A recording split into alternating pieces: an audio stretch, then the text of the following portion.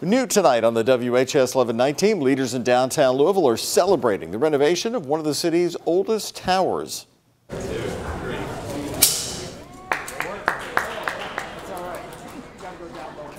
City leaders joining the development group Somera Road to cut the ribbon on the new and improved office tower at 500 West Jefferson Street.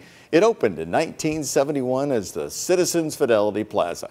The $18 million renovation began back in 2021. Jim Allen, the vice chairman of Baird, says they lived through the renovations after choosing to stay downtown when their lease initially ended in 2020. We're proud to put a stake in the ground in downtown and, like I said, be part of the solution as we move forward to revitalize downtown because it's so critical that we have a vibrant downtown hub. And take a look. The renovations include this new lobby and a new entrance there at 5th and Jefferson, moved to embrace Metro Hall and Jefferson Square Park. The building's fourth floor is now an amenity floor for tenants featuring a fitness center, golf simulator, and a cocktail bar.